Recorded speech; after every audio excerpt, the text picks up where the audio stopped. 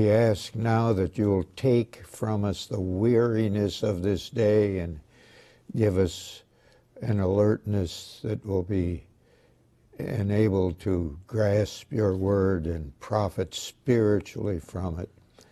We pray in Jesus' name, amen. All right, now we're in Job, and we're, we're doing in these few moments this evening half the book. So uh, remember, he's, he starts out, the man is wealthy, he is loaded, he has a huge family, he is the epitome of success, and he loses everything. He loses all his possessions, he loses all of his children, and uh, wished he had lost his wife, but he's still stuck with her. and uh, then, uh, of course, we see what's going on behind the scenes that between Satan and God, of which Job knows nothing. And then uh, finally, his health is taken from him. And in the midst of this, uh, in the area someplace, though not exactly next door, come three friends. And the theme, so we don't lose sight of where we're going, the theme of the book is suffering. And the key verse is 121, which you should have clearly marked Naked came I out of my mother's womb naked I'll return thither. The Lord gave, the Lord takes away. Blessed be the name of the Lord. So, in, in spite of his tremendous loss, he obviously has a good attitude, and uh, that he has not lost. His three friends come, and we usually go very hard on these people, these three men, but in every situation there's a mix of good and bad, a mix of positives and negatives.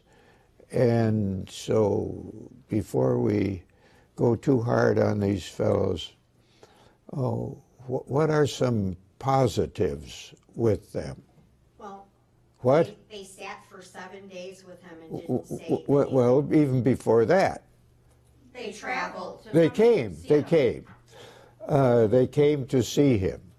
So when did you last visit a sick person? You know, uh, it's not exactly like going to the county fair, and uh, it can be a kind of depressing experience at times, and you you you look at him, uh, and uh, they they come, and you look at verse twelve of chapter two. They did not recognize him. He is in such a physical mess, at least dermatologically, that he is unrecognizable. I don't know if you've had the experience, but I have. I've, you know, gone into a hospital room to visit somebody and at the door paused and drew back.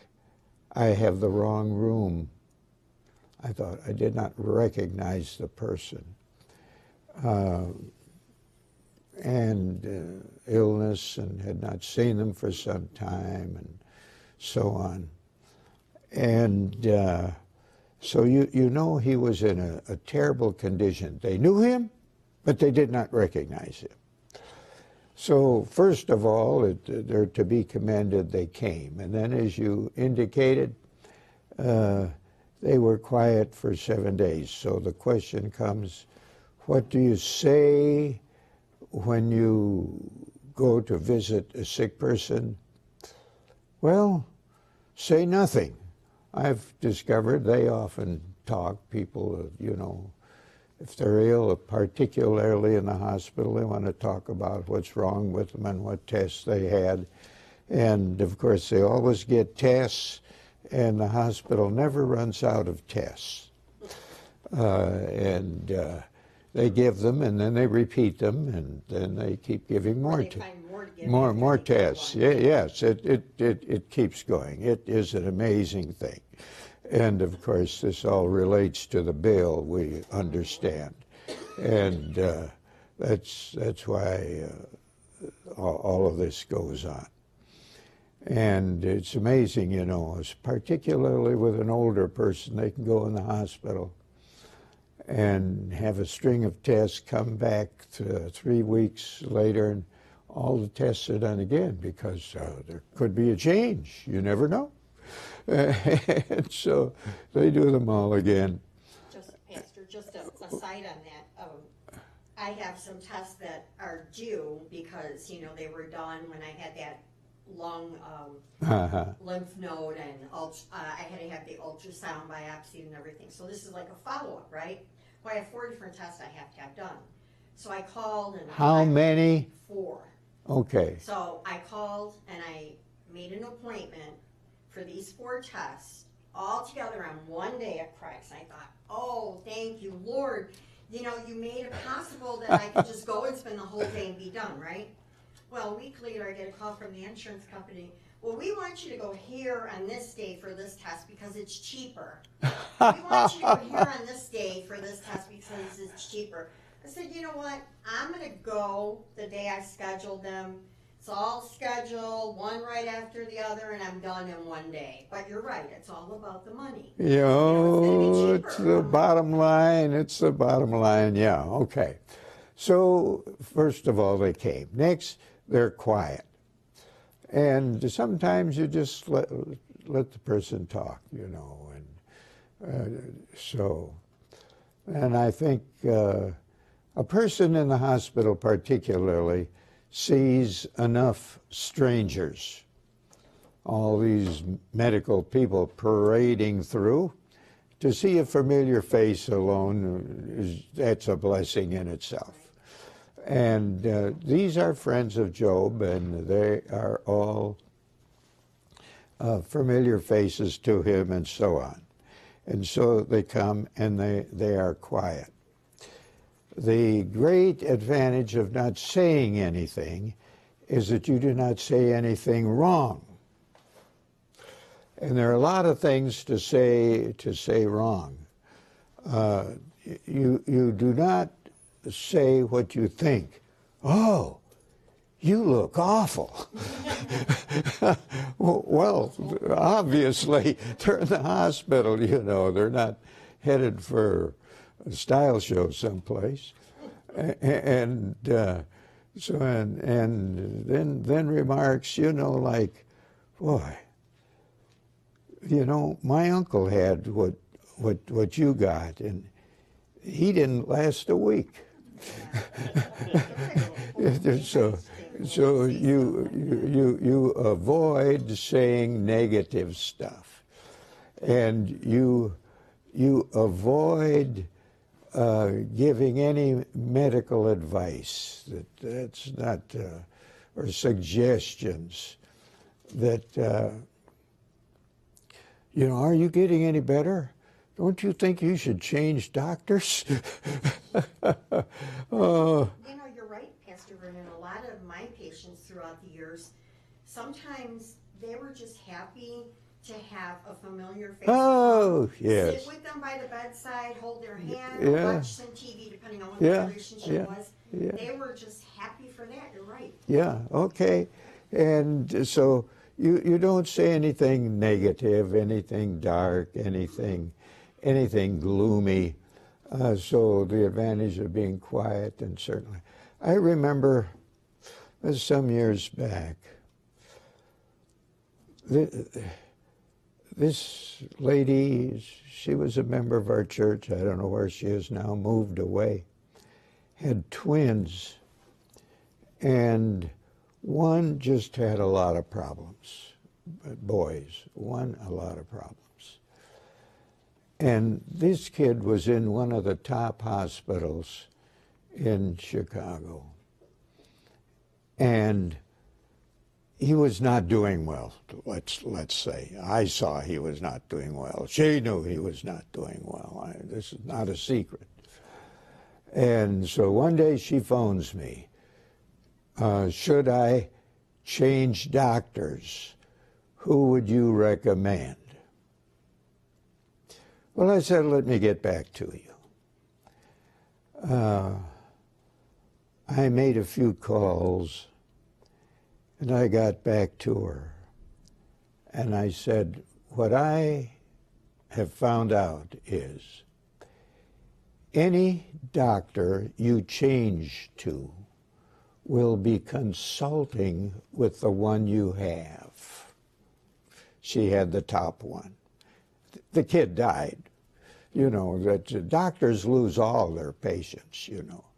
You, you, you, you don't, don't linger by the back door of the hospital. It's, it's depressing.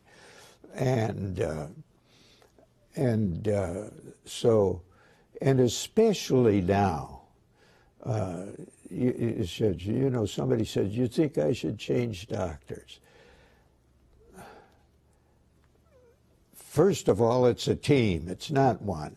Next, they're consulting with the best in the country. Uh, and the top information, whether it's from Boston or it's from Mayo's and Rochester, they have it. And you, are not going to gain anything by, by shifting around. So you, you, you don't get involved in these things you, you may not say much of anything, maybe a short prayer or leave a good verse of scripture with them and be gone. But these fellows, uh, you've got all their names in one, you're underlining them in, in, in 2, 11, Eliphaz, Bildad, and Zophar. In chapter 3 now, let's go. Uh, this is the first cycle the first cycle runs chapters 3 through 14.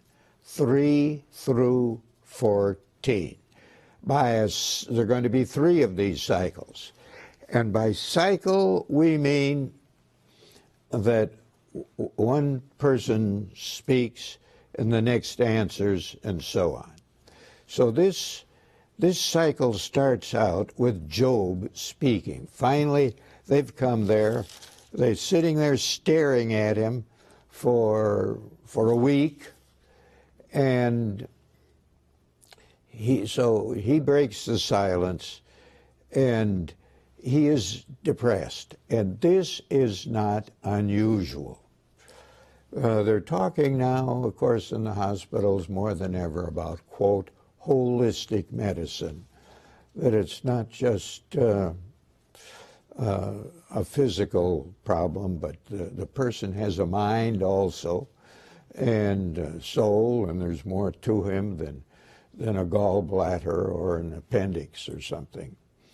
And uh, it, it, used to be, and I've heard it in the hospital, you know, they say, somebody, nurse by the desk, uh, have you have you checked on the gallbladder in room 310? you, you know, as though there's no person there. Uh, oh, mercy. But that, that day is past uh, wonderfully. And they're thinking of the whole person. And uh, so you get sick physically. There is just a normal, natural tendency to get down psychologically, mentally, spiritually. Uh, and Job is there. He's down. Well, look, th- this is a multiple whammy here. He's lost all his possessions. He's lost all his family except his wife. He's lost his health. If anybody had a reason to be depressed, He's, he's got it full blown. So let the day perish on which I was born. Verse chapter 3, verse 3. In other words, I wish I was never born. Why, why am I here? If this is life, I'm not interested, you know. Uh, verse 11, you're underlining. Why did I not die at birth? Oh. Verse 25, chapter 3. The thing that I fear comes upon me, what I dread. I'm not at ease. Verse 26, I'm quiet. I have no rest. Trouble comes. In other words, uh, I'm wiped out, is what he's saying. This is uh, not unusual with a sick person. There are all kinds of thoughts. Will I ever get well? Am I going to die? Uh, you, you know.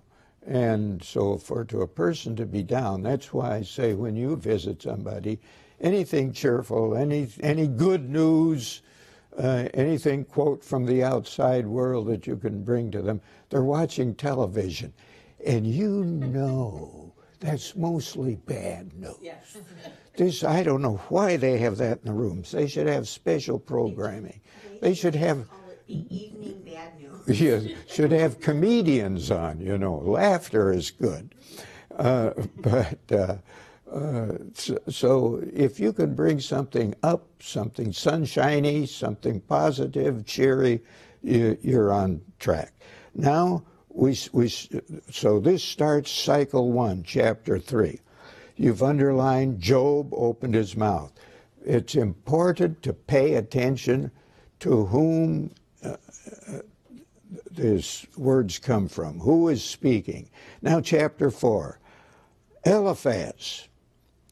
He apparently is the oldest of the three, so he has the edge, and he starts to speak. And uh, he has got it all figured out. Eliphaz is drawing on his experience. And underline in verse 8, uh, as I have seen, in other words, I'm going to share my observations with you. This is what I know. And of course, any individual, any one of us, know very little, not much. And so our experience is limited. And if that's all you've got, you don't have much. But he has Job's situation all figured out. He knows from his experience what the trouble is. Uh, what he doesn't know is what? What, everything that Job's been through, right? What? Everything that Job has been through. Oh, well, no, he's, he, he knows that. He knows he's lost everything. He knows his kids are gone. He, he can see his medical condition. He doesn't know about What? the devil Okay. to God. What's going on in heaven? Mm-hmm. Satan coming and this conversation between. Job doesn't know that, and Eliphaz doesn't know that. And that's a kind of a warning to each of us. Before you launch into judging a situation or a person, be sure you got your facts. He doesn't have all the facts. And that's why he misses it, not slightly, but he misses the deal 100%. He has it all figured out. What's the problem? What's the problem? He's just working from his own experiences. Uh, he has a small amount of experience. Well, yes, but what's from what, what's Job's? What does he say Job's problem is? Um, he wasn't right with God. Okay, Job, you're a big sinner. You you've messed up spiritually. You've sinned against God, and what has happened to you, you got coming. And isn't that also him judging Job? Oh yes. Oh, he's coming down with the hammer on him. Yes. Look, look at verse seven. Remember, who that was innocent ever perished? Oh no, Job, you're you you put your foot in it, and you're you're in trouble here.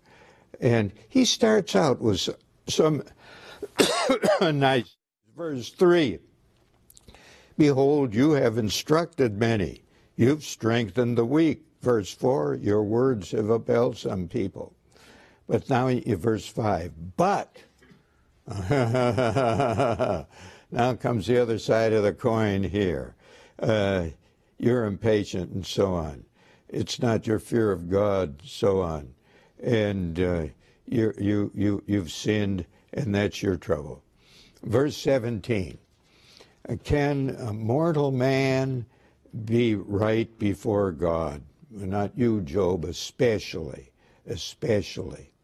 And uh, verse 10 Even his servants he puts to trust his angels he charges with air.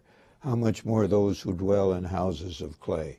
In other words, Job, you're catching it, but if you'd get right with God, and it's because of all the bad things you've done, but you go back to the book, you go back to uh, chapter 1, verse 1. He's blameless. He's upright. He feared God. 1 1. He turned away from evil. Ah! Uh, and no, this is not Eliphaz. So before, uh, you know, so when your friend's car is totaled, you don't look at him and say, well, God caught up with you, didn't he? You don't know. You don't know. It could have been the other person's fault 100%, and and uh, don't be in an Eliphaz is is the point. Uh, chapter five, verse seven, is a famous text, which is just uh, true. Man is born unto trouble as the sparks fly upward. Uh, that, that's, that's, that's life. Now, mm-hmm, let's see, let's, uh, verse 16 of chapter 5 the poor have no hope. In other words, uh, a person who is totally, let's take a hard look at the word hope. A person who is totally devoid of hope is. Dead, really. You're close. That's not the word I'm thinking of. Suicidal. A person who's totally devoid of hope is suicidal. And he's dead. He's going to be dead. Uh, so he's stripping hope. Okay, so Eliphaz uh, chapters uh, 4 and 5 has given his speech. Job answers. This is the cycle we're talking about.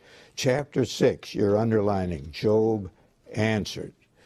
And uh, uh some things. Look at verse 12. Is my strength the strength of stones? In other words, boy, I, am not tough enough to handle all of this. My flesh, bronze? No.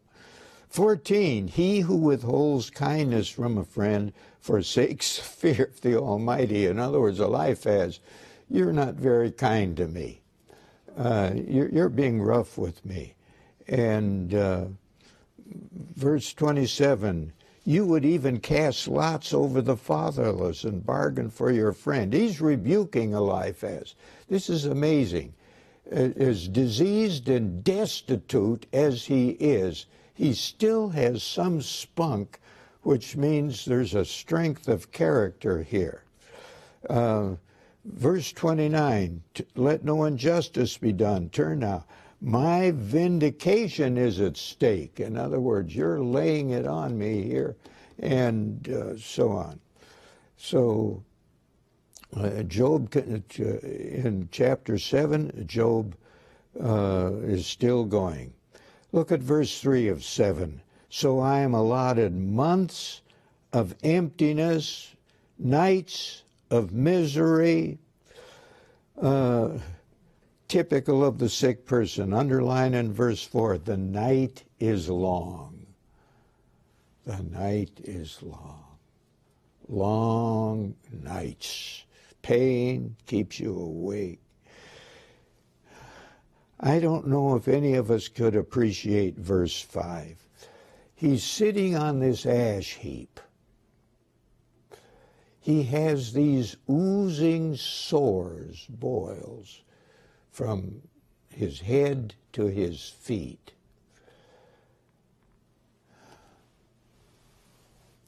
All right, you medical people, what is the largest human organ? The skin. And this is where his trouble is. Think about that, you know. If it's your appendix, well, that's one thing, you know. But uh, your your skin, if you if you got dermatological problems and you're covered, great day. So i these oozing sores, and now days have passed. And verse 5 My flesh is clothed with worms. It's rotting. They're coming and working on the decaying stuff. Uh, you- you know, uh, hold your stomach. Uh, oh, mercy. And dirt, my skin hardens, then breaks out afresh. A typical description of a boil, really. Uh, and then verse 6 is famous 7 6. My days are swifter than a weaver's shuttle and are spent in your underlining without hope. Without hope. If this guy were in a top Chicago hospital, Rush, Loyola, uh, U of C, he would be in trouble. But he has no medical attention, remember. He's just sitting on an ash pile and uh, trying to care for himself without hope. Verse 7 Remember, my life is a breath. He feels he's that close to death, a breath, and I'm gone. Verse 9 of chapter 7. A cloud fades and vanishes. He who goes down to Sheol does not come up. Uh, you poke around at different translations. The Hebrew, this, the translators went to sleep, got lazy or something. It's Sheol is a Hebrew word, and they didn't translate it. They just transliterated it, just carried the letters over. And so, what does it mean? Well, in the Old Testament, you have to get the meaning from the context. In some places, it means grave, uh, the grave. In other places, it means the realm of the dead. And the equivalent word, the Greek word in the New Testament, uh, is Hades. And uh, you get the full scope on this in Luke 16, the rich man and Lazarus. We don't have time to go into that. But uh, he who goes down to Sheol does not come up. In other words, this is kind of a final thing. Verse 16 I loathe my life. Here you're getting little windows into the mind of Job. 20 If I sin, what do I do to you, you watcher of mankind? In other words, how have I hurt you? So Job is through. We're to, we're to chapter 8. Bildad. Uh, Bildad, if if uh, Eliphaz speaks from experience, what I have seen, Bildad goes on tradition. Look at verse eight. Please uh, inquire of bygone years. Considers what the fathers searched out. In other words, what do we know from the past? What's tradition? And he starts pouring this out on onto, uh, and it's basically the same thing. That uh, you, you're a wretch of a sinner, and that's why you got all this trouble. Look, look at, at verse, it's in poetic form, but it's the same. Look at verse 11. Can papyrus grow where there is no marsh uh, alongside the river? Uh, no. In other words, could, could you have all this trouble and you didn't sin a lot? You, you know, is what he's saying, verse 11. Uh, and so that's the gist of Bildad. So Eliphaz has spoken, Job responds. Bildad has spoken, chapter 8, chapter 9, Job responds. There's a whale of a question in verse 2. But how can a man be right before God? Boy, you have to almost come to the New Testament before you get the answer to that one. And the answer, of course, is, is all through Christ, and He bears our sins. Now, How you know how can a person get straight on? And the power of God, verse uh, five, He removes mountains. Six, He shakes the earth. Uh, seven, He commands the sun, uh, seals up the stars. Seven, uh, ten, He does great things. So on. Uh, remember, Job has no? Bible. Bible. He's 2000 BC, there is no Bible. And there's no wisp of any prophet entering his life with a word from God. You talk about a having a spiritual minimum. He knows you, you, you look at uh, five mountains, six earth, uh, seven the stars, uh, eight the waves of the sea. The most of the knowledge that he has of God comes from nature. Heavens declare the glory of God and so on. Great things he's done, and so on chapter chapter 9 uh, verse 27 if i say i'll forget my complaint i'll put off my sad face and be of good cheer oh my. Uh, how can i do that? Uh, i become verse 28 afraid of my suffering. But you really want to mark verse 33 of chapter 9 This is a shaker. There is no arbitrator between us, between him and God, to lay his hand upon his bow. King James says daysman. Uh, the word ombudsman. Uh, we could also say, what would be another term?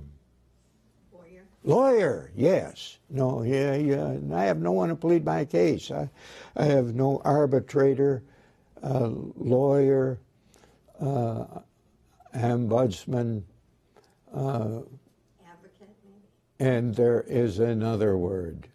Umpire. That's what. Oh, okay. And There's another word. Mediator. What? Mediator? That's it. Mediator. Now, that should ring a bell. Is there a text that pops into your mind? in First Timothy, First Timothy 2 5. There's one God and one mediator, 1 Timothy 2 5, one God and one mediator between God and man, Jesus Christ. By the way, that text wipes out a whole slice of Roman Catholicism. What? Because they believe the priests are the And mediators.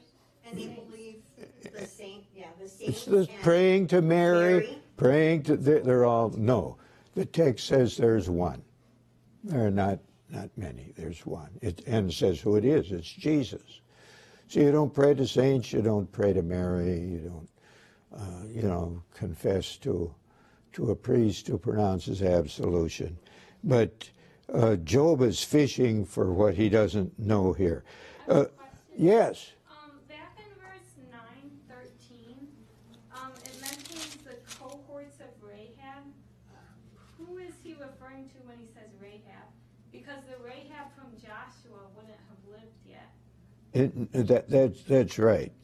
And we do not know who that is. We do not know. I did some. Uh, What did you find? That it's a mythical sea monster. Well, I go to this great. sea Your source that- for that. that I don't remember. You don't- It's, it's, it's at home. It's I a, have- It's in the footnotes of my It's in the footnotes of New yours? International Version Bible.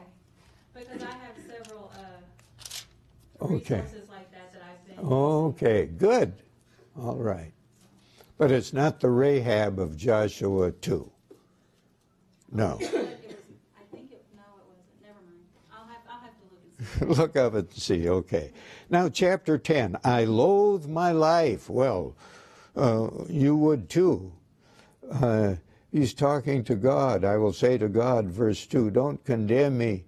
Uh, Let me know why you contend against me. In other words, he's looking at all these troubles coming from God. He says, What's gone? Verse 8, Your hands fashioned and made me.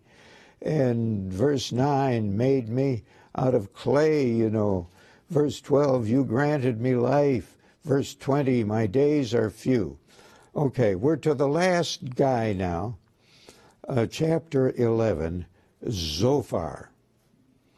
Now, if Eliphaz came relying on his observations and experience and, uh, and uh, uh, Bildad on the past, on tradition. Zophar, he's the religious fellow. Look, verse 4 My doctrine is pure, I am clean before your eyes, and so on. He's taking this. Uh, verse 7 Can you find out the deep things of God or limit the Almighty? And so on. But he has basically the same thing. Uh, Job, you're just a messed up sinner, and that's why all of this has come down on your head. Chapter 12. Uh, Job, it's amazing considering his bereavement, considering his physical, his medical condition, that he has as much spunk in him as, as he as he does. You you look at verse two. He's had it with these three fellows now. He's heard all three. Verse 2, no doubt, here's sarcasm running rich. No doubt you are the people, wisdom will die with you. I have understanding as well as you, and I am not. Look at him. And he's saying this I am not inferior to you. For I'm a laughing stock to my friends who called, uh, I who called to God, and he answered me, just and blameless man, and so on. Uh, but he's on these, these three fellows. Verse 7 Ask the beasts, they'll teach you. You're so stupid, the animals could instruct you. The birds uh, could teach you guys. Verse 8 Eliphaz, Bildad, Zophar, the inanimate bushes could, you could tell you some things. Even the fish, verse 8. Oh my. And uh, in his, look at 10. In his hand, God, is the life of every living thing, the breath of all mankind. Verse 12 Wisdom is with the aged, hopefully. There's some old fools, you know, but uh, uh, you, you ought to be wiser as you go because the longer you live, the more mistakes you make and the more failures you have. And if you are mentally awake at all, you learn from your mistakes and you learn failures are valuable. Uh, the Ashburn Baptist Church is a success. Before the Ashburn Baptist Church, I started another, which was a 100%, that's a long story, but a 100% failure. When Ashburn Baptist was started, I thought, we'll just do everything the opposite. And it worked. So the failure was very valuable. Uh, and uh, so the older you get, the, the wiser. And God, verse 23, as you watch the evening news, remember verse 23 He makes nations great and He destroys them. Verse 13, uh, chapter 13, verse 2 I am not inferior to you. Uh, verse 4 You are worthless physicians. He's fired them. Five, that you would shut up. And God, verse 10, will rebuke you. Verse 15 of chapter 13 is famous. Though he slay me, yet will I trust him. In other words, uh, how much can you handle and survive? But then you look at verse 28. oh, man wastes away like a rotten thing, like a garment that is moth eaten. How about that? Uh, amazing. We go. Uh, as you might surmise, I've seen a lot of sick people and I've been in and out of a lot of hospitals. And I can usually tell when a person's headed for the back door instead of the front door without talking to the doctors.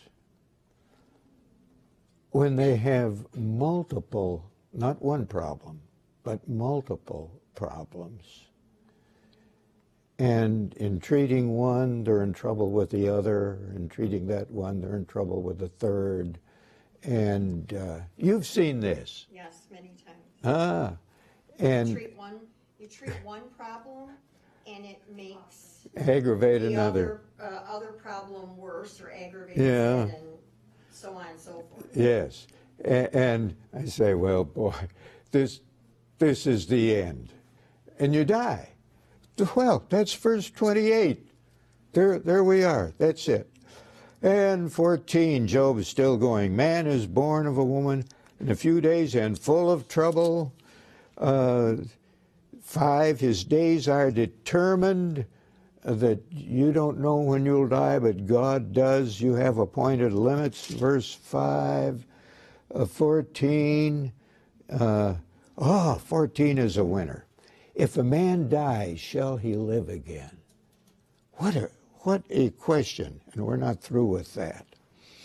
So, we're to the end of cycle number one. Got it? We're to the end. Now you should label. We're in the second cycle now. Cycle number two, which goes chapters 15 to 21. Cycle number two, chapters 15 to 21. Uh, uh, Eliphaz is on stage again, verse 4. But you are doing away with the fear of God. In other words, in verse 5, Eliphaz has not changed his tune. Your iniquity, in other words, Job, fess up, you know, you're a bad person. Uh, 8, have you listened to the counsel of God? And nine, what do you know that we don't know? In other words, you think you're smart, we're as smart as you are, and so on. And uh, verse 20, it's the wicked man, and so on. Uh, verse 34, the, the godless. So now, ver- chapter 16, Job comes back. Uh, verse 2 is sort of puts its thumb on it. Miserable comforters are you all. They do not know how to visit a sick person. They're not helping him. They're, uh, Pointing out. yeah. Verse 3, windy words. And verse 4, I could speak as you do if I were in your place. oh, oh, Job's coming back at them. Uh,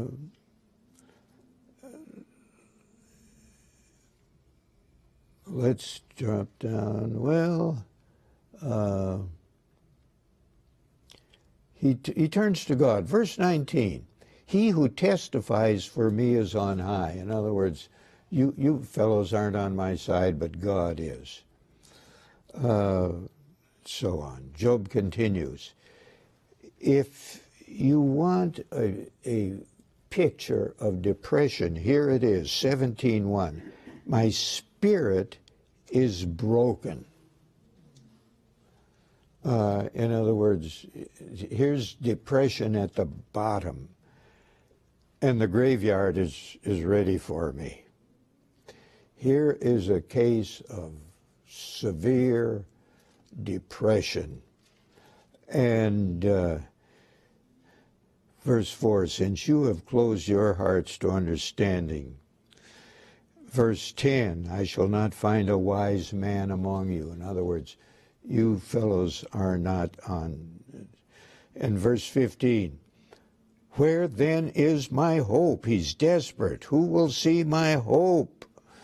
Uh, if, if you want a, a, a case, textbook case of depression, chapter 17, and this often comes with illness, a, a person uh, is, is mentally mentally depressed. It needs cheering up. That's why people send flowers, send a card, go to visit, you know, and anything. All right, it was Bildad is on, chapter 18. Uh, and uh, he's, he's speaking of death. And verse 8, it's pictured as a net. Verse 9, a trap and a snare. Verse 10, a hidden rope. Job replies, 19, how long will you torment me and break me in pieces with your words? He's on to this. Uh, 14, my relatives have failed me, my close friends.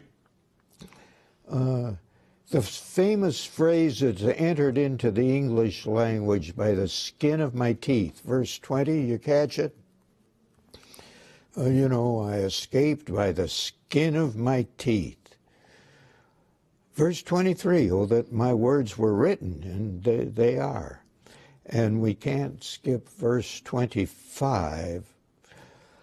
I know that my Redeemer, this is astounding considering the time and the poverty of information that he has. I know that my Redeemer lives. He's speaking obviously under the Holy Spirit. Lives. He'll stand upon the earth after my skin has been destroyed, and yet my flesh I shall see God. I shall see for myself. My eyes shall behold. What a statement of the resurrection. We're going to pick up at 20 next week, but uh, finish the book.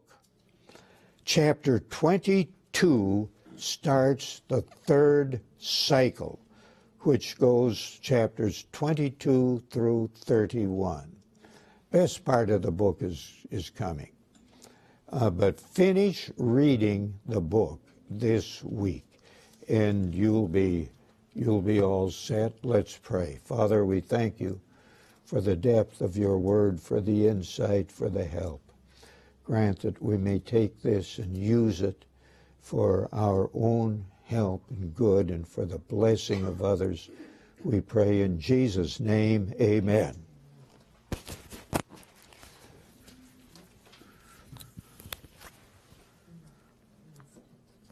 I hope his boy.